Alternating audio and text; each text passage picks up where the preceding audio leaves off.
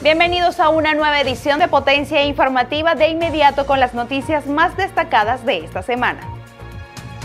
La Fuerza Trabajadora de Corpoelec logró la energización de las subestaciones Tobar, Canaguá, Guaraque, El Molino, Bailadores y Santa Cruz de Mora en el estado Mérida a fin de restituir el servicio eléctrico en las zonas afectadas. El trabajo que se ha hecho ha sido 24 por 24.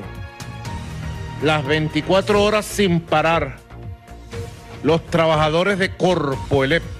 Mi aplauso a los trabajadores y a las trabajadoras de Corpoelep, con el apoyo de la Fuerza Armada Nacional Bolivariana, de Protección Civil, del pueblo de a pie.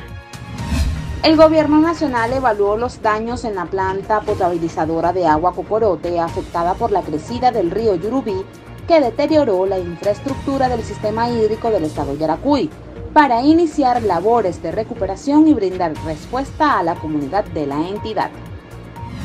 La Vicepresidencia Sectorial de Obras Públicas y Servicios activó una fuerza de tarea integral de los equipos multidisciplinarios de sus entes adscritos y el gobierno del Distrito Capital para atender el desplazamiento de cuatro losas estructurales del cauce del río Guaire a la altura de Caricuao en Caracas, producto de las lluvias en días pasados.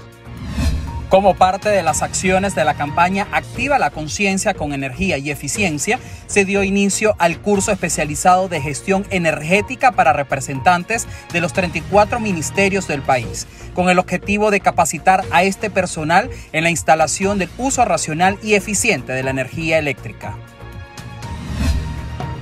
Lo que debes saber de la eficiencia energética. Los electrodomésticos son equipos de uso común en nuestras viviendas por ello, debemos comprar equipos eficientes. Pero, ¿cómo los identificamos? Busca la etiqueta energética que permite conocer de forma rápida la eficiencia de un electrodoméstico. Los equipos más eficientes están identificados con una A, que representa un 50% menos de consumo que la media. Cada acción cuenta. Conoce tus equipos electrodomésticos y activa la conciencia con energía y eficiencia. Activa la conciencia.